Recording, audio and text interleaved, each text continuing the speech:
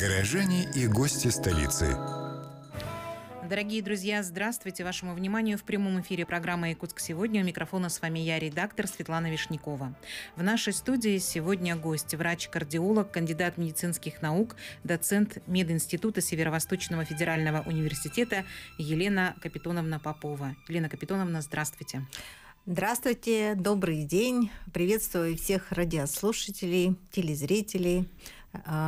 Хочу поздравить вас с наступающим Новым годом. Спасибо большое и вас тоже с наступающим Новым годом. Спасибо огромное, что вы пришли сегодня в нашу студию. Я знаю, что у вас ритм очень насыщенный. Ну и тем более сейчас дни, последние дни mm-hmm. уходящего года, они у всех достаточно хлопотные, чего говорить, да? А, но тем не менее вы в нашей студии, и говорить мы сегодня будем про грипп, про ковид, который сложнее, чем грипп. Но почему будем говорить об этом с кардиологом? Потому что, оказывается, а, самые сложные осложнения или одни из самых сложных осложнений получает после этих заболеваний наше сердце. И о том, как распознать эти а, осложнения, может ли сам переболевший человек их распознать, можно ли как-то подстраховаться и подложить соломинку, когда ты болеешь, и уже в параллель какую-то сердечную терапию применить. Или же, когда ты переболел, уже точно знать, что теперь тебе нужно восстанавливать сердце. Очень много вопросов, надеюсь, на которые вы сегодня нам ответите, потому что сердце – это наш основной мотор, это один из основных наших органов. И, конечно же, каждый человек хочет, чтобы его сердце работало исправно, как часы. Поэтому а... надежд много сегодня на вас. Расскажите. Да, конечно. А, а, сердце – это один из основных органов организма нашего человека. И мы уже с вами живем а, на протяжении трех лет а, в контакте с новой коронавирусной инфекцией SARS-2 COVID-19, которая, конечно же, при, э, преподнесла ну, свои какие-то а, особые актуальности по влиянию на сердечно-сосудистую систему. Значит, э, давайте вот рассмотрим, да, на протяжении трех лет а, уже проведены ряд многочисленных научных исследований, на основании которых мы можем сказать, как влияет вирус SARS-2 COVID-19 именно на а, сердечно-сосудистую систему. А, вирус, эм, попадая в организм, он имеет прямое повреждающее действие на сердечную мышцу, в ответ которого наруш... А, организм вызывает нарушение иммунного ответа, иммунные нарушения, в частности, мы говорим о гуморальном иммунитете, а, может протекать аутоиммунное воспаление, а, которое вызывает воспаление сердечной мышцы, и называем мы это миокардит. Следующее повреждение – это сердечные, клетки сердечной мышцы и сосудистой стенки, они содержат в себе определенный ряд а, рецепторов, медиаторов, ферментов, которые при контакте с вирусом происходит нарушение дисбаланса, равновесия вот этих ферментов, рецепторов, медиаторов.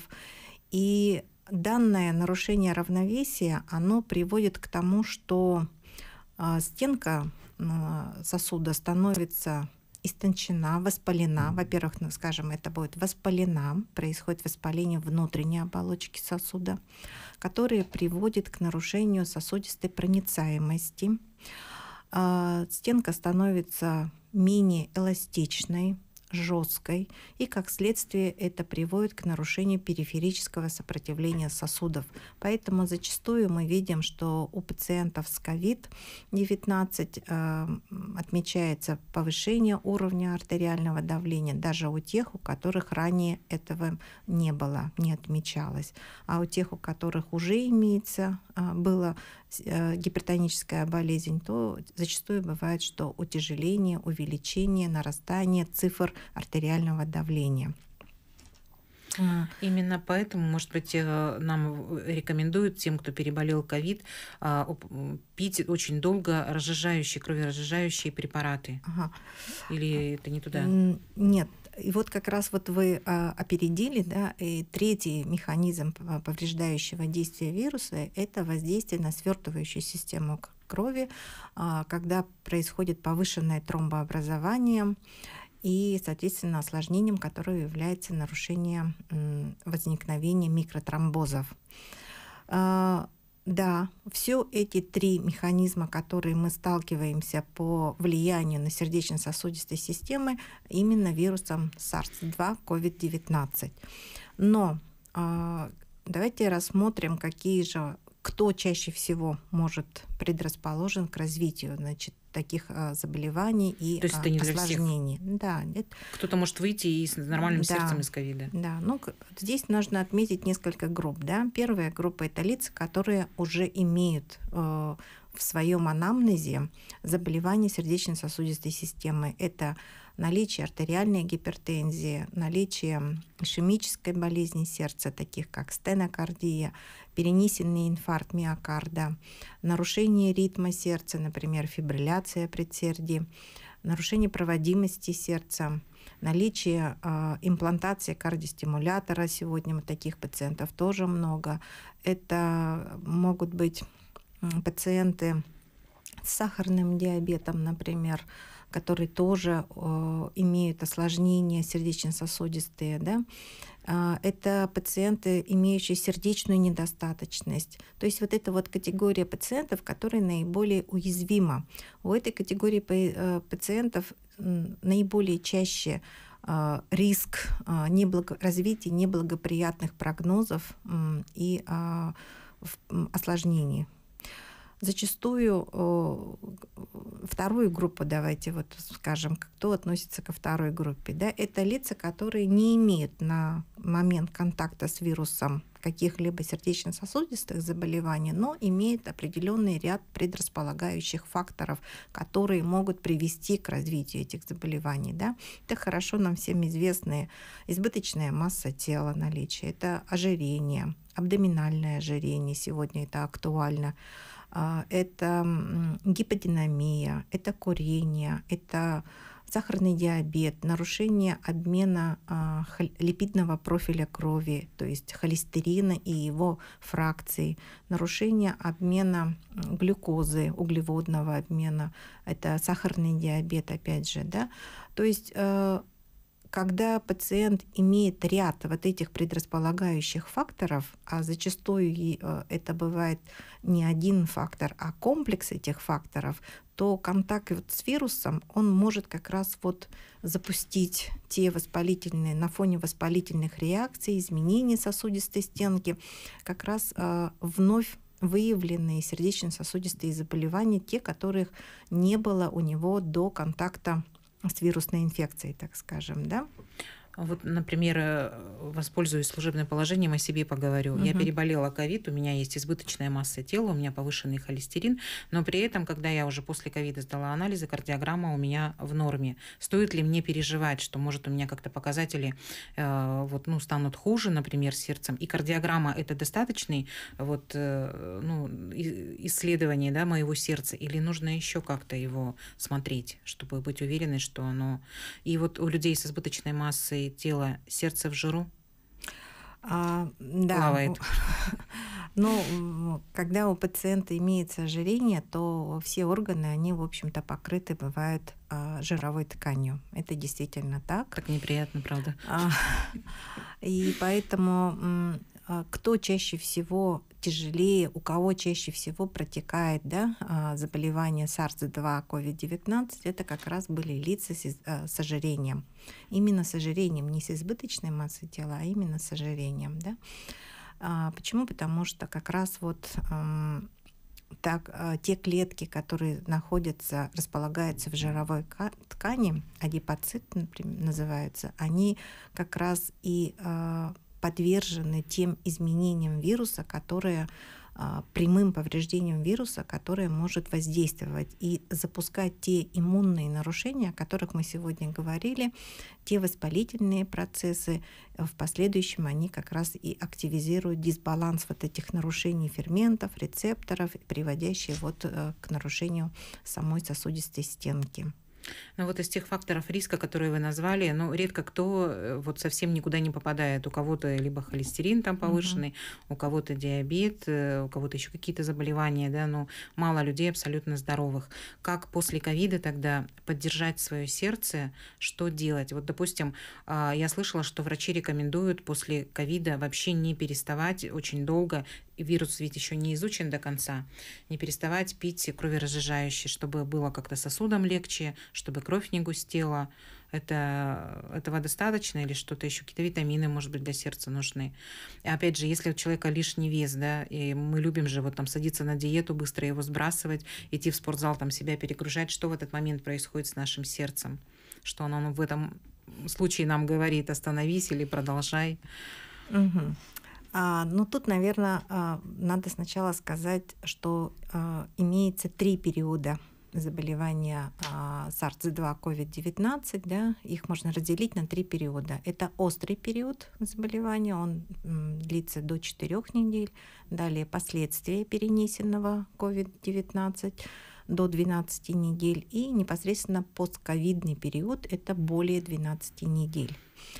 Конечно же, а, когда мы говорим о лицах, а, имеющие уже в своем анамнезе сердечно-сосудистые заболевания, у них чаще всего это а, значит, возможность прогностически неблагоприятных последствий, осложнений, это чаще всего встречается именно в остром периоде, в конце острого периода и в, последствии, в последующем периоде до 12 недель. Когда мы говорим о более а, здоровых людей, то чаще всего это может быть или а, через два месяца, через три месяца, или даже вот в постковидном периоде это вот спустя уже 12 недель. Здесь а, не, не, нет такой вот активности, что кто может заболеть. Да? Заболеть э, осложнения могут произойти у любого. Да? И зачастую бывает, что человек перенес легкие э, симптомы ковида, а последствия будут у него уже значимые, так скажем. Да? И как бы часто бывает, что говорят, что у меня ковид протек вообще незначительно, Или незаметно, незаметно, да. да, но был там ПЦР положительный, значит, но сейчас у меня имеются определенные последствия. Здесь надо смотреть на клинику. Значит, э, если вы замечаете после перенесенной инфекции, что такие симптомы, как общая слабость, нарастающее общее недомогание, немотивированное именно, да, а, это одышка, связанная с физической активностью, снижение толерантности к физической нагрузке. То есть это когда человек, а, когда человек, например, до э, вирусной инфекции мы во втором блоке обязательно продолжим говорить об этом. Сейчас на короткие две минуты уходим. Дорогие слушатели и зрители, оставайтесь. Дорогие друзья, мы снова в прямом эфире. В нашей студии врач-кардиолог, кандидат медицинских наук, доцент Мединститута Северо-Восточного федерального университета Елена Капитоновна Попова. Мы говорим о том, как беречь свое сердце, как о нем заботиться. И особенно делаем акцент на тех людей, которые перенесли ковид. И оказывается, нет гарантии, что если ты переболел ковидом в легкой форме, если ты даже этого не заметил, и нет э, шансов, что у тебя не будет последствий серьезных для твоего сердца. И одна из последствий, или, может быть, вообще это не последствия после ковида, а вообще э, достаточно популярное заболевание – это анемия, когда э, нужно поддерживать как-то свое сердце дополнительно, да? Расскажите. Угу. Так, ну мы вот вначале все-таки давайте докончим ту мысль, Давайте, я просто мы... уже ага, забыла, мне сложно ага. воспроизвести. А, какие вот симптомы могут а, быть, а, чтобы на стороже а, держать именно того пациента, который перенес а, COVID-19, да? Это вот общая слабость, как я уже сказала, немотивированное общее недомогание, одышка, вот э, тоже важный симптом – это одышка, которая бывает связана именно с физической активностью и со снижением активности, э, переносимости физической э, тех нагрузок, которые он переносил до ковида легко.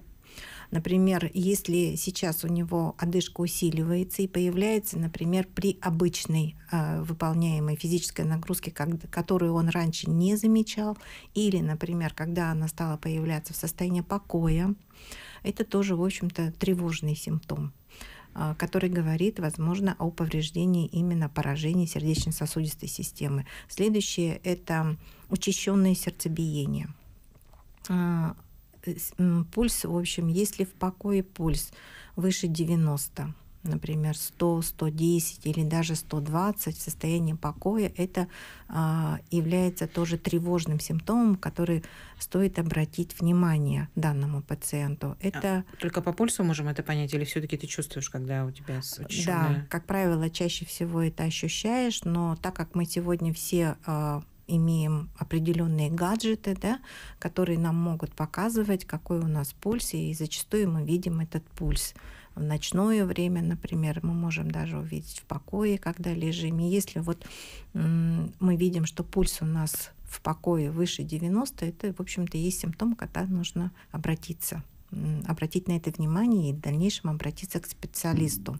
Следующее – это нарушение ритма сердца. Да? Это когда человек ощущает перебои в работе сердца, неритмичность пульса, так скажем. Да? А, далее это Отеки нижних конечностей могут появиться. Это может быть небольшие, такая пастозность, да, небольшая отечность. Не обязательно это выраженные должны быть отеки. Даже небольшие отеки тоже, в общем-то, говорят о каких-либо изменениях, которые происходят. Да. Это боли в грудной клетке, конечно же. Да. Это головокружение, выраженные симптомы головокружения. Обмороки, если? Да, это могут быть даже вплоть до синкопов. Да? Кратковременная потеря сознания называется синкопы. Mm. Угу. И если, вот как я уже сказала, да, до перерыва, что имеется три периода заболевания COVID-19, да, и если человек э, после выписки э, перенесенной COVID-19 на протяжении длительного периода, например, до трех месяцев, ощущает, продолжает ощущать данные симптомы, то они а, должны его насторожить. А, данные симптомы, они, как правило, чаще всего бывают до одного-полутора месяцев после перенесенной инфекции. Но это уже как последствия могут быть. Да? Если эти симптомы не проходят, не исчезают, а если даже имеется нарастание этих симптомов, то сам или сам человек должен обратиться, или члены его семьи должны подсказать ему, чтобы он именно пришел а, на консультацию к врачу, терапевту, а лучше всего, конечно, а, к специализированному доктору, это к врачу-кардиологу. И только врач-кардиолог может провести определенные методы обследования, снять электрокардиограмму, сделать суточное мониторирование, провести визуализацию сердца, то есть провести ультразвуковое исследование и в последующем а, на фоне анализа всех полученных результатов выставить диагноз, имеется ли поражение сердца. И назначить именно целенаправленное лечение. Почему я об этом говорю? Потому что сегодня зачастую бывает, что не только ведь лица, имеющие заболевания сердечно-сосудистой системы до COVID, да, но э, зачастую бывает, что лица молодого возраста, среднего возраста, трудоспособного возраста тоже имеют проблемы с сердцем. И так как я уже говорила выше, что вирус SARS-2 COVID-19, он имеет прямое повреждающее действие на сердечную мышцу, которое вызывает именно нарушение иммунно, иммунного а, статуса организма. Да? И приводит к воспалению сердечной мышцы. Называется это миокардит, вирусный миокардит. По статистике значит, научных исследований известно, что, например, развитие вирусного миокардита после гриппа, ОРВИ, как правило, это колеблется в цифрах 5-15%, тогда как развитие миокардита после SARS-2 COVID-19 оно достигает 50-70%. То есть практически вот каждый четвертого может быть те или иные симптомы, которые показывают на наличие вирусного миокардита. Частота значимо выше, Почему? Потому что вирус э, более агрессивный, и те механизмы, которые вызываются в организме человека, мы уже об них а, обсудили. Да? А... Ведь ковид лечит именно вот э, гормонально и садит иммунную систему намеренно. Только так можно его вылечить. Да.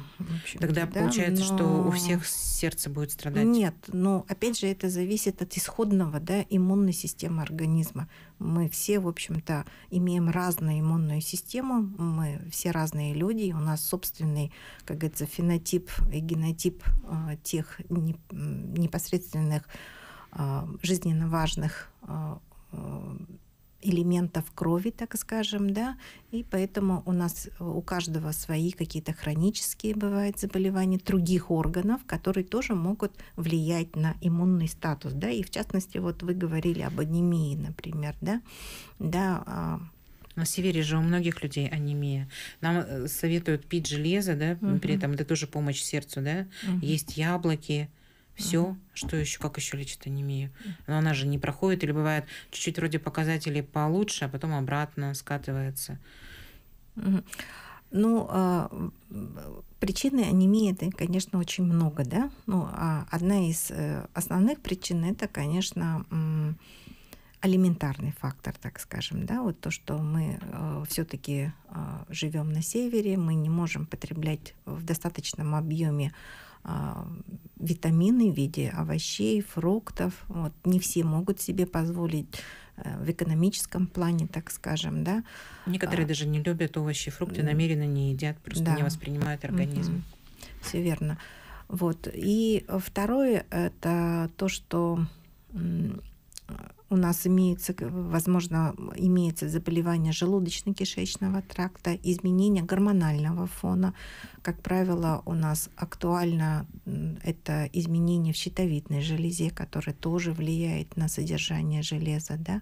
Это работа желудочно-кишечного тракта, особенно желудка, содержание именно тех желудочного сока, например, состав желудочного сока, он тоже сильно имеет влияние. Да? У нас длительная зима, которая, в общем-то, приводит к тому, что нарушается содержание э, атмосферного воздуха. Да? Мы э, стараемся делать менее глубокие вдохи, так скажем, поверхностное дыхание. Соответственно, у нас тоже происходит гипоксия. Да? Гипоксия — это снижение уровня кислорода во всех клетках организма. А, вот, и... Кстати, про дыхание, да, вот угу. мы когда хотим как-то подправить свое здоровье, что мы делаем? Мы там угу. покупаем витамины, идем в аптеку, да, угу. идем в спортзал. Мужчины, вот они считают, что там где-то тяжести потягал, вот ты вроде как разрядился и как-то какую-то нагрузку дал организму, и что это в плюс. На самом деле, что в этот момент происходит э, с нашим сердцем? Угу. А, насколько для него вот эта вот такая резкая физическая активность, да, или а, периодическая такая физическая активность, вот эти вот витамины, которые мы все там, насколько для него это хорошо? А, вообще вот надо сказать, что организм человека это целостная структура, да. Зачастую бывает, что а, многие думают, что там голова отдельно, сердце отдельно, печень отдельно, почки отдельно. Да? Но ну, врачи же отдельные, мы ходим сначала одно лечим, да. потом другое. Но организм — это одно целое, которое взаимосвязано, и содержание элементных а, состава крови, оно очень важно в каждой клетке организма. И если у нас, например, не хватает каких-либо микроэлементов, витаминов, то это сказывается и на содержании всех органов и систем. Например, если у нас не хватает, там, скажем, железа, то, соответственно, что происходит? Это недо, недопоставка кислорода. Недопоставка кислорода, в частности, к сердечной мышце. И поэтому считается, что если а, человек приходит в спортивный зал, имеющий уже исходно среднюю тяжелую там, степень анемии. То, о которой может и не знать. Да, которую он может и не знать. Только анализы а, покажут. И зачастую бывают симптомы какие? Это слабость, немотивированная, в общем, такая общее недомогание, головокружение могут быть небольшие, головные боли. Зачастую что говорят? Мало двигаюсь, поэтому кислорода не хватает, и я пойду там в спортивный зал, буду заниматься и таким образом активи- активность свою физическую повы- повышу. Но а, в данном случае мы наоборот усиливаем нехватку кислорода к сердечной мышце путем усиления вот этих физических тренировок, да? нагрузки, да, вот этих э, нагрузок, и таким образом мы наоборот даже можем ухудшить свое состояние. Э, поэтому рекомендуется, если человек хочет э, начать физические тренировки, то здесь нужно, во-первых, что обязательно пройти медобследование которая включает в себя не только а, определение общего анализа крови и биохимические показатели, да, как правило, чаще мы всего делаем, а э, именно вот тот микроэлементный состав, который очень важен для сердечной мышцы. Еще не везде же ты сможешь сделать э, вот такой вот анализ на витамины, да, которые тебе хватает, которых угу. не хватает. Еще и там выборочно, и не всегда ты можешь анализ сделать сразу, полностью весь. И это очень, мне кажется, важно, то, что вы сейчас говорите, потому что, когда мы приходим в спортзал, мы видим тренеров, которые мотивированы заработать побольше денег, и суммы за тренировки достаточно высокие, и нам хочется поскорее прийти в форму, да, и мы про это забываем. Дорогие слушатели и зрители, мы сейчас на две короткие минуты уходим на рекламу. Очень скоро вернемся. Оставайтесь. Дорогие друзья, мы снова в прямом эфире. В нашей студии врач-кардиолог, кандидат медицинских наук, доцент медицинского института Северо-Восточного федерального университета Елена Капитоновна Попова. Мы говорим о том, как уберечь свое сердце. У нас последний, третий блок. Вы можете задать свои вопросы 32 0066, 32 11 66 нашей гости и расспросить про свое сердце. А во втором блоке мы говорили о том, насколько могут навредить физические нагрузки а, человеку, если он не знает о состоянии своего сердца, состоянии своего здоровья. А никто и не знает. Мы приходим в спортзал, нас там радостно встречают, выставляют нам прескуранты. Просто своим опытом хочу поделиться. Я как-то а, весной захотела начать новую жизнь и подключить свою жизнь спорт. Пришла, и а, тренер меня стал сразу же нагружать э, вот э, большими килограммами, да, которые я могу поднять. И я почувствовала, что тело мое не выдерживает. Я подумала, что это мое сопротивление и моя лень. А теперь я понимаю, что интуиция интуиция мне верно подсказывала, потому что первым этапом для того, чтобы заняться спортом, нужно все-таки сначала сдать анализы и показать их тренеру, и каждый тренер должен спросить а, о том, что с твоим организмом, да, и все-таки сначала это врач должен быть врач. А мы вот так вот со своим здоровьем иногда обходимся. Я вот вспоминаю э, спектакль, моноспектакль Гришковца, где он говорит о том, подробно рассказывает, что происходит с его сердцем, когда он бежит и в спортзале активно за, за всю жизнь в одну тренировку всю спортивную нагрузку хочет уместить. Для нашего сердца тогда а, какая будет нагрузка хорошая, приятная и безопасная, если все-таки мы э, ну, не очень хорошо владеем информацией о том, каких микроэлементов у нас не хватает в организме, и насколько у нас анемия присутствует, что будет безопасно, чтобы не откладывать на завтра? А, ну, опять же, да, на, на основании результатов а, тех научных исследований, которые проводят а, ученые, врачи-кардиологи, нам уже известно, что это наиболее благоприятное для сердца, это умеренная физическая нагрузка. Именно а, аэробная. Что такое аэробная умеренная физическая нагрузка? Это ходьба на свежем воздухе. А, значит, э, в этом э, в каком темпе ходить? Часто иногда задают вопрос. Можно ведь ходить медленно, можно бежать легкой пробежкой, что хорошо, да? Но здесь опять же все зависит от того, в каком состоянии исходно, да, базово, так скажем, исходно находится данный человек. Имеется ли у него какая-либо патология уже со стороны сердца, да? И какой у него исходный пульс. Вот это важно именно, какой у него исходный пульс.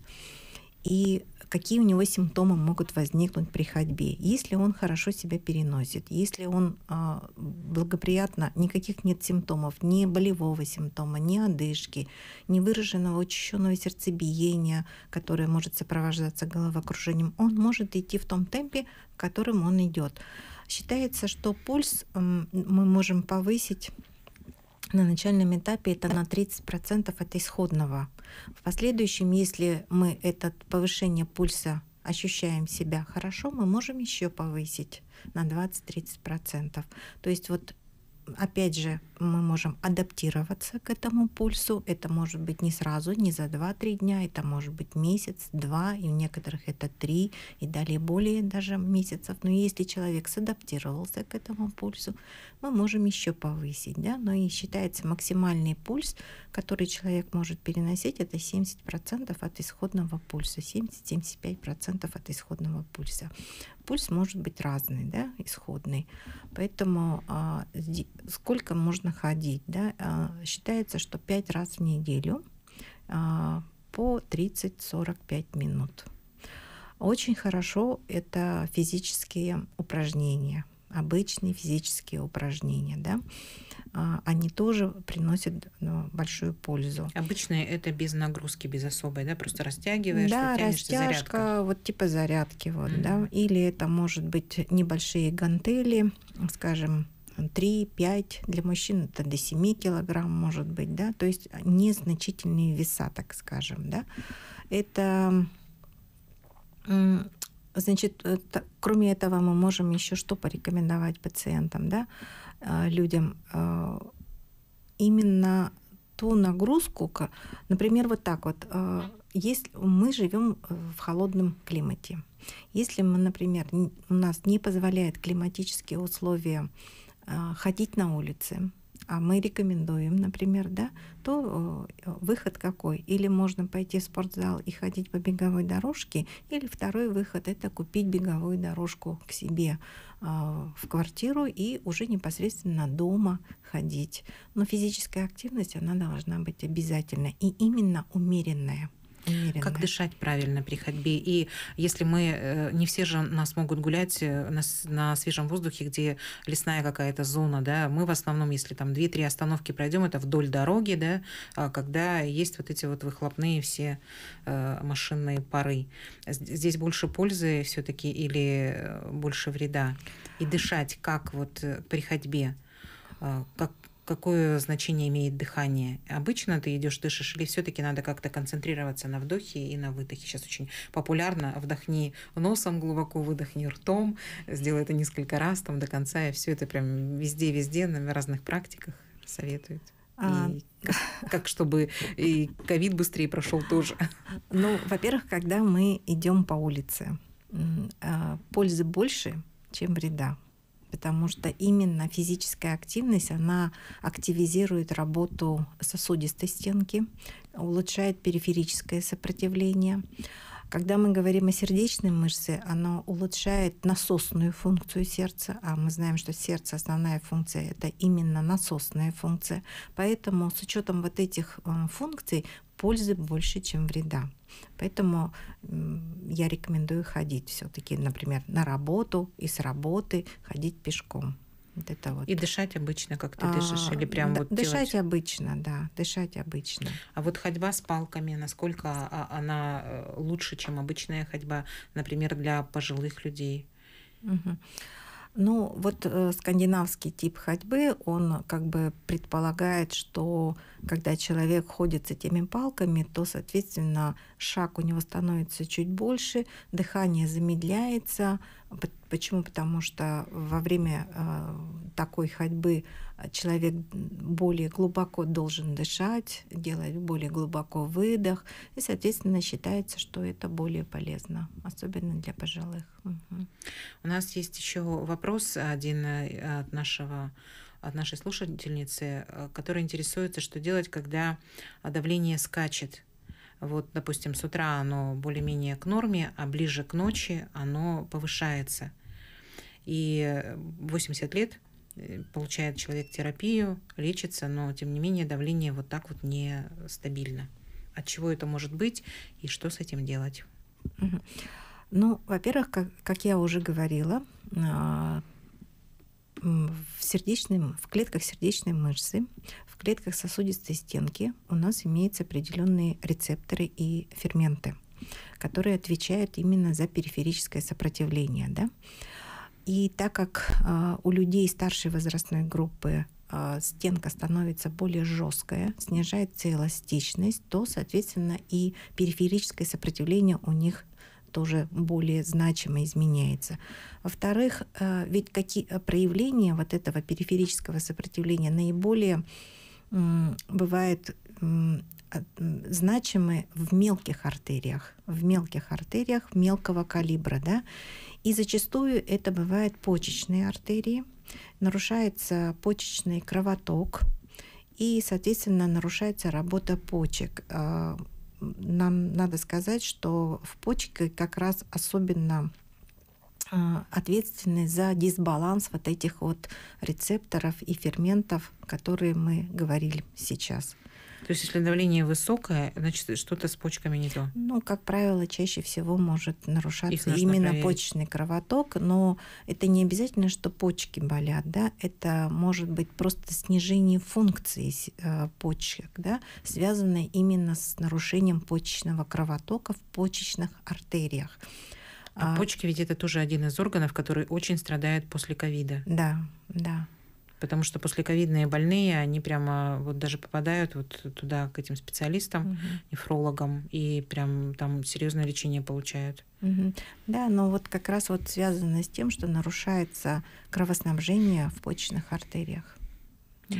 Может быть, какие-то общие рекомендации у вас будут? У нас остается три минуты до конца эфира, даже чуть меньше, для наших угу. слушателей а, в уходящем году, может быть, еще что-то можно сделать полезное для своего сердца в эти дни, и э, как на протяжении всей жизни все-таки, может, какие-то простые есть советы поддерживать его работу? А, ну, во-первых, я бы хотела сказать, что э, не, не, не надо пренебрегать э, диспансеризацией, особенно постковидной диспансеризацией. Сегодня в поликлиниках по месту жительства это активно проводится. На основании результатов вот проведенной диспансеризации врач может увидеть те или иные отклонения и порекомендовать более углубленное обследование у врача-специалиста. Далее а, рекомендуется, если вам 40-40 мужчины 40 лет, женщинам рекомендую 45 плюс, раз в год обязательно контролировать свои показатели крови. Да? Это общий анализ крови, это обязательно уровень холестерина, а, уровень глюкозы, а, показатели работы печени, почек, обязательно нужно контролировать электрокардиограмма, чтобы не запустить тот механизм, который, возможно, уже формируется, особенно если у имеется наследственная предрасположенность или те предрасполагающие факторы риска развития сердечно-сосудистых заболеваний. А, ну а также если вы перенесли вирусную инфекцию.